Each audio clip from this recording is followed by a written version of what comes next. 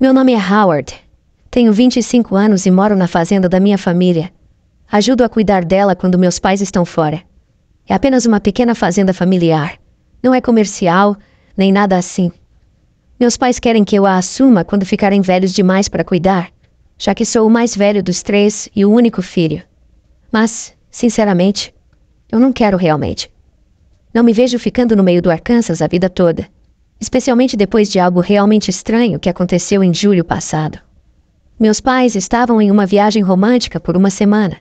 Então eram minhas duas irmãs, Crystal e Morgan, e eu, cuidando da propriedade enquanto eles estavam fora. Não há muito por aqui. Muita privacidade e tal. Um pouco demais, na minha opinião, exceto por uma noite.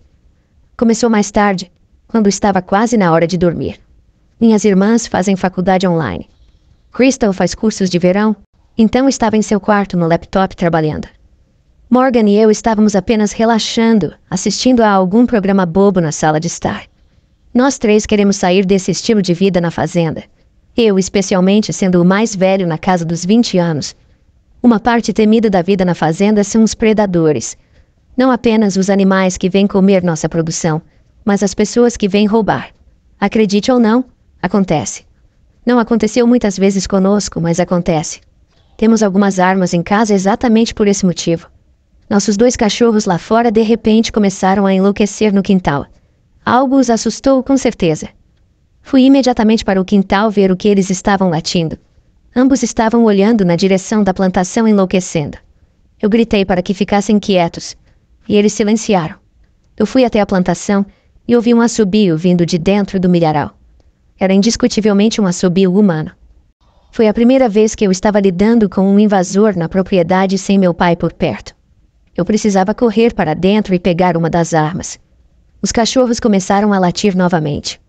Contei para minhas irmãs que havia alguém lá fora, no meio do milharal, e precisava afastar essa pessoa. Elas disseram que era uma ideia terrível correr para o milharal no escuro, e me fizeram perceber que estavam certas. Percebi também o quão aterrorizante seria. Então, em vez disso, voltei para os cachorros mais uma vez, enlouquecendo, latindo na direção da plantação. Apontei a arma para o alto e disparei um tiro que ecoou na noite, silenciando os cachorros. Eu também estava em algum tipo de frenesi no momento, e gritei para sair de nossa terra o mais alto que pude. Senti que isso resolveria o problema e voltei para dentro. Minhas irmãs estavam rindo, o que me fez rir também. Mas nossa pequena risada não durou muito, porque os cachorros começaram a latir novamente. Ainda mais loucos dessa vez.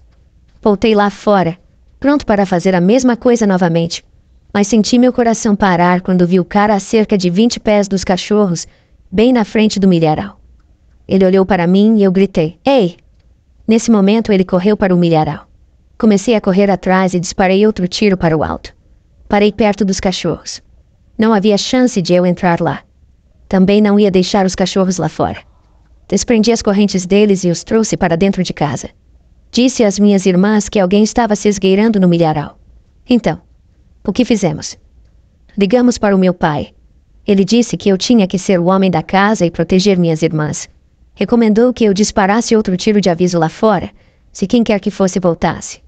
Depois disso, todos fomos gradualmente para nossos quartos respectivos. Minhas irmãs trouxeram cada uma um dos cachorros para seus quartos, e eu trouxe a arma para o meu quarto. Apenas porque todos nós estávamos um pouco assustados com isso. Eu tinha a janela aberta Enquanto estava deitado na cama assistindo a um filme no meu laptop, ouvi um assobio do lado de fora. Corri para a janela e olhei para fora para ver alguém caminhando lentamente na grama. Então, como se tivesse algum sexto sentido, ele parou de andar e virou para olhar para a minha janela, ainda assobiando. Esse idiota claramente estava tentando nos assustar. Uma ideia muito estúpida, considerando que eu já deixei claro que tinha uma arma. Corri para pegar a arma na cama e a apontei para fora da janela. Disparei na grama a alguns metros dele, de propósito. Isso encerrou seu pequeno ato de filme de terror, e ele correu para fora da visão da minha janela, em direção à frente da casa. Desta vez, ele não voltou. Teria que ser um tolo para voltar depois disso. Obviamente, contei às minhas irmãs por que atirei, e assegurei a elas que ele não voltaria.